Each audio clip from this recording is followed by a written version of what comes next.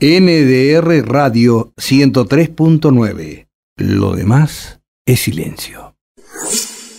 Bueno, Raimundi, hablábamos de esto, ¿no? De cómo se va perdiendo la esencia del fútbol juego para someterlo al negociado, al histrionismo y todo lo demás. Sí, sí, sí. Esto, esto es un manotazo abogado de esta comisión directiva de gimnasia que, eh, a ver, yo quiero aclarar bien porque no es que yo estoy totalmente en contra de que Maradona esté en gimnasia, ¿eh? porque, a ver, el problema de que tiene gimnasia es mucho más profundo que el director técnico. O sea, me da lo mismo a mí no me molesta que venga Maradona y que Gimnasia se pueda beneficiar de lo que genera él, más allá de que es un parche y que es tirar la basura bajo la alfombra, porque hoy, por ejemplo, tener la sede llena de gente haciendo de socio, se va Maradona, se van todos. eh, viene el sponsor, se va Maradona, se van todos. Eh, los medios, estos mercaderes, hablando de gimnasia todo el día, se va Maradona y gimnasia pasa al ostracismo otra vez, como toda la vida, ¿no? Tal cual. O sea, el problema no se resuelve con esto, pero sí, quienes por ahí no conocen la interna de gimnasia y demás, eh, esto es un mandato de esta comisión directiva que institucionalmente fue un desastre, concurso del club, eh, no, no hizo ninguna obra, todas las pocas obras que se hicieron las, se hicieron con el aporte de, los socios, y fundamentalmente y deportivamente agarró a gimnasia en la posición 10 de 30 y hoy, la, hoy lo tienen 24 de 24. ¿no? Entonces, eh, ¿qué tiene que quedar clarito que venga Maradona, no nos salve, no salve del descenso, no llenemos de plata con Maradona, lo que sea, este dirigente en diciembre, que hay en noviembre hay elecciones, el primero de diciembre tiene que asumir una nueva comisión directiva, se tienen que ir, ¿no? O sea, porque estas son movidas politiqueras, ¿entendés? lo único que podía salvar apelando a cómo piensa lamentablemente la mayoría de la gente un pensamiento a la que lo llevó, a la que la llevaron los operadores del sistema, ¿no? eh, de Entonces, la única forma que tenían era meter un, un, boom como ese. Claro, un golpe efectista. Derecho. Claro, claro, claro. Esto es, imagínate que ahora, eh, ojalá, ojalá porque uno quiere lo mejor para el gimnasio, lo que pasa es que uno tiene eh, la mentalidad como para separar las cosas, ¿no? Ojalá que Maradona ahora ganemos 10 partidos seguidos y que nos zafemos el descenso, porque nadie se quiere el descenso.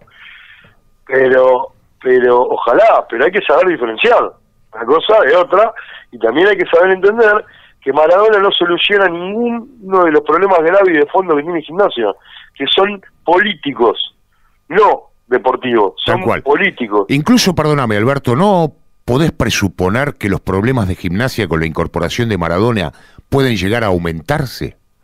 Debido, te digo esto, a algunas declaraciones, por ejemplo, de su representante ayer, en el momento de la firma del contrato, que decía, asumimos un nuevo desafío. ¿Qué rol cumple el representante en ese desafío? La verdad, no, sé cuál es el rol. El rol es quedarse con plata. Claro. Por eso digo, ¿no? ¿No será que se incrementan los problemas? Claro. ¿Qué trabajo hace?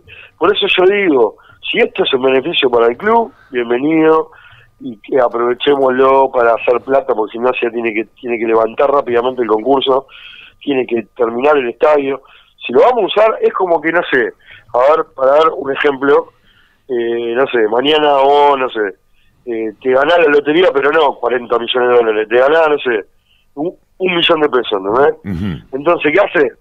Salís a despilfarrar la guita o, o arreglas tu casa, o sea, como no es, es guita, pero no es tanta, o sea, eh, es solución, pero no para siempre, ¿qué hace? Salís a despilfarrarla, te vas de viaje a Europa, todo, o arreglas tu casa, le metes guita a la radio, cambias el auto, y no, bueno, gimnasia esto lo tiene que usar para eso, ahora ya que está, ¿entendés? Ahora, ¿cuál es el tema? Que no sea, que no sea que vengan a usar a gimnasia cuatro vivos para llenarse de plata, y cuando se vayan, Gimnasia quiere como Bagdad después de la invasión de los turros de los yanquis, ¿no? Claro, claro, claro. ¿Vos te este, imaginás lo que sería lo que sería para el presidente y la comisión directiva de Gimnasia hoy que Maradona o con el comando la dirección técnica de Maradona, el club se salve del descenso, yo creo que esconderían otro montón de cosas. Pero claro, pero es, exactamente lo que te estoy diciendo, es, que, que, hay que saber diferenciar hay que saber diferenciar. Yo ojalá que Maradona venga, motive a los jugadores, ganemos 40 partidos. Ahora, yo de la dirigencia y de los problemas del club voy a seguir pensando exactamente lo mismo. Claro, claro, claro. A mí no me va a cambiar y yo no quiero. Y a ver, y otra cosa que yo no estoy de acuerdo, porque mucha gente muchas veces lo hace, es, bueno, entonces que le vaya mal, así lo que yo estoy diciendo eh, eh, resalta, ¿no? Hay que saber diferenciar. Yo no quiero que le vaya mal a la gimnasia. Nunca. Nunca quiero. Yo a Progre no lo podía ni ver. Y yo, si- sin embargo, quería que gane todos los partidos. ¿Me entendés? Sí, sí, te Porque entiendo, está claro. gimnasia. Claro, Ahora, hay que saber diferenciar, muchachos. Hay que saber diferenciar. Hoy pareciera ser que, por eso me da bronca lo, lo del periodismo mercader, que me llamó yo, que digan los verdaderos problemas que tiene gimnasia. Yo no escuché ningún periodista decir, muy bueno, esto, es- esto de Maradona es bueno, porque gimnasia, un club que venía alicaído anímicamente, deportivamente, por ahí lo levanta, está, eh, va a tener, van a venir, van a venir sponsors, obviamente aprovechando la volteada de Maradona. Yo pienso que el club tiene que tiene que crecer de otra manera. Claro, dentro de un no contexto, seguro, claro. Es una aspirina esto. Exactamente. Ahora, nadie dice, ojo que los verdaderos problemas de gimnasia no son esto, ¿eh? Tal Nadie cual. lo dice. Tal cual. Eso es un reflejo, ¿no? Lo- la realidad deportiva que atraviesa gimnasia, como lo atravesamos nosotros los hinchas de Chacarita, es un reflejo de lo que es institucionalmente el club. Claro, exactamente. Pero no tengas duda, pero aparte, a ver, es un reflejo de lo que eh, de lo que es el club. Y es a propósito que Chacarita esté como esté, es a propósito porque le conviene al sistema. Que Gimnasia esté como esté, es a propósito porque salvo River y Boca, que tienen mil formas de- y así todos están fundidos, porque River está fundido, que tienen mil formas de generar recursos más. Todos los demás clubes somos víctimas de este sistema. Nos pusieron de rodilla para después tener que aceptar todo sin chistar, ¿me entendés? Claro, claro, claro. Está todo conformado, construido para que el fútbol deje de ser un juego y que sea la diversión o el divertimento o el desahogo de las clases populares, ¿no? Por siempre eh, muy alineadas esta cultura. Claro, exactamente. Y bueno, uno, a ver, ¿yo por qué hago todo lo que hago? Hago porque lucho contra eso. Porque el día que yo no tenga más ganas de, de- de luchar contra eso, ni a la cancha voy a ir, Gustavo. Claro, te ni a la cancha, porque yo, cuando mi, cuando mi, yo peleaba con mi papá, peleaba con mi papá, eh, cuando yo era adolescente, mi papá, y cuando murió mi abuelo, mi papá no pisó nunca más la cancha. Y yo iba siempre con mi papá a la cancha, ¿viste?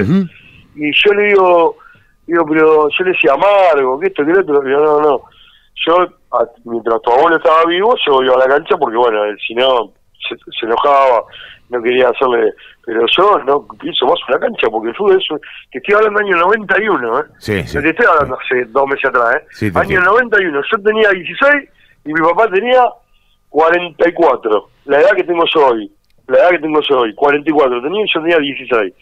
Y mi papá me dice, no, y nunca más en su puta vida pisó una cancha. Y yo, en esa época me peleaba, le decía, no, pero vos sos un amargo. Y yo, yo pago todas las cuotas, ustedes todo, porque obvio, nosotros éramos chicos, ¿no? Eh, si hay que poner plata, pongo, hay que poner plata para la tribuna, pongo, porque yo quiero al club, pero yo, la cancha la piso más porque es un negocio, es un circo, Tal cual. y vos, y vos sabés que yo, por suerte, llegué a decírselo, le dije, unos años después le dije, tenías razón, ahora, hay dos caminos, el, el tuyo o el que elijo yo, que es luchar. El del medio, que sería, por ejemplo, que mi papá siga yendo a la cancha eh, sabiendo que esto es un quilombo y sin hacer nada, no. O sea, o, o directamente te dedicas a otra cosa, o te metes y luchás. El camino del medio no, pues es un títere. Ujú. ¿Entendés? Que es Sí, lo sí. que le pasa a mucha gente. Por ahí no se da cuenta, pero terminan siendo títere de un sistema totalmente macabro que nos está, que nos tiene secuestrado de rehén lo que es nuestro. Porque el fútbol es de los clubes. Porque es lo que es. Por la pasión que generan las camisetas, no por los jugadores. Tal cual. O vos, o vos, si alguna vez habrás tenido un ídolo de Chacarita, cuando se fue de Chacarita, te hiciste hincha del cuadro que se fue. No, no, seguiste siendo hincha de Chacarita. Totalmente. Y bueno, entonces... Totalmente, es así. Alberto, ahora desde lo deportivo, ¿a vos te place la llegada de Maradona como entrenador? Y de lo deportivo, no, no, no, la verdad que no, no, no es, es totalmente incierto y, o sea, es incertidumbre total. Ujú. Eh, yo, analizándolo, mirá, vamos a analizar, porque si no, a veces uno está en contra de todo y no quiere a nadie, ¿viste? Porque después te dicen esas cosas. Para mí, eh, no ha sido tan mal técnico. O sea, Ajá. ha sido del montón. No ha sido tan mal técnico. De hecho, por ejemplo, cuando estuvo en la selección, no te hablo de Mandillú y eso, ¿eh? que fueron sus comienzos. Sí. Esta última campaña que hizo en México no fue mala. Y después, eh, en la selección en Argentina, eh, lo que pasa es que acá hay mi idea de que Argentina no sé, es el mejor del mundo y tiene que salir campeón todos los años. Pero tuvo la tuvo la mala leche cruzarse con Alemania en un cuarto de final, no sé si era cuarto de final, semifinal, y bueno, se comió cuatro, pero no había sido mala la campaña. Eh, o sea, yo últimamente he visto peores campañas. Ahora, eh, ¿qué puede pasar con Maradona, el técnico de gimnasia? ¿Qué es eso? O sea, y por eso te digo que el técnico me da lo mismo. Claro. El problema acá no es, no es, no es Hay que... acá el problema es que no hay no, no hay la política institucional, no hay la política Claro, deportiva. claro. Además, No- con Maradona, buenos Alberto. jugadores. Con Maradona Sí. uno tiene que luchar contra las influencias externas siempre. Bueno, sí, sí, sí, seguro. Si vos tenés a Maradona yo- dentro, indefectiblemente tenés que luchar con las influencias externas. Sí, seguro. Yo lo que sí estoy seguro que puedo aportar es una motivación, porque hoy los jugadores de gimnasia están muertos, muertos están. Y bueno, si no te motiva, en realidad la- el solo hecho de ponerte una camiseta te tendría que, que motivar, ¿no? Sí. Como el otro día me preguntaban, porque me llaman de todos lados, y el otro día me dicen, bueno, me imagino que ahora con Maradona estarán más motivados para relatar. ¿Qué? Le digo, a mí lo que me motiva es la camiseta de gimnasia, hermano. Esté Maradona o el mago sin diente en el banco, eh, a, a mí me motiva la... Claro, pero lo único que falta, que yo me, me, me, me motive eh, porque, porque está tal o cual. Yo, a, a mí me motiva mi camiseta. Bueno, es pero lo único que me motiva. prepárate porque si fracasa Maradona, el mago sin dientes seguramente será el próximo director técnico de gimnasia. Sí, sí, como el enano polvorita. Alberto, te mando un abrazo como siempre. Muchísimas gracias por tu tiempo y por habernos dispensado el mismo. No, por favor, muchachos, ustedes saben que yo les quiero mucho, son son eh, somos, son la radio hermana nuestra, así que bueno, este, les mando un abrazo, escucho permanentemente la radio Equivocada todos los días, eh, me encanta el periodismo que hacen, bien, más allá de si estamos de acuerdo o no, ¿eh? esos son dos pesos aparte. Seguro, seguro. Pero, pero es que en general, es que en general estoy de acuerdo, o sea, eh, esto lo aclaro porque por ahí hay gente que por ahí no está de acuerdo, ¿entendés? Ujú. Pero a lo que voy es que el tipo de periodismo valiente, sincero y comprometido que hacen es creo que es el periodismo que debería que debería este, existir en todos lados. Más allá, repito, de las ideas y de, y de las posturas que, que tenga cada uno, porque ante todo está la libertad.